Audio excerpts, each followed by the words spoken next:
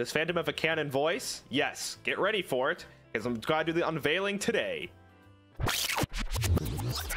Just did a whole speech.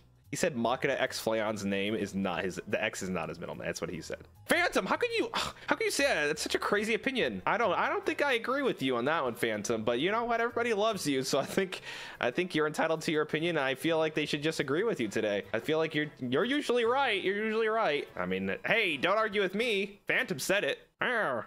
And you're a rotten pieces of shit too, you vile rotten freaks. I hate you all. Phantom! What the? Phantom, whoa! Did you hear that? Did you freaking hear that? I was in. Did you hear what he said? I can't believe that. You can see her lips moving. I was just smacking my lips. They're dry.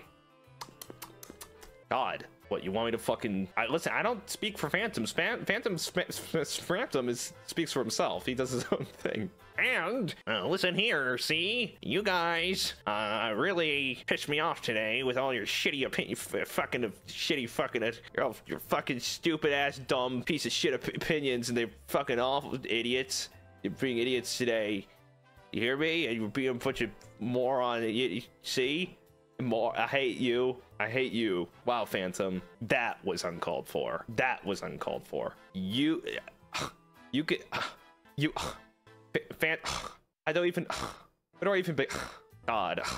Phantom, you can say that about me. You can say that about me. But my friends, now you messed up. Now you messed up. Now you messed up. You, you understand? You you can say it about my friends. You don't say that about my friends. You don't do that. I, I fight for them. I fight for them. I care so much about them. They mean a lot to me. Um, so you better step off, Phantom, or you and I are going to have creative differences.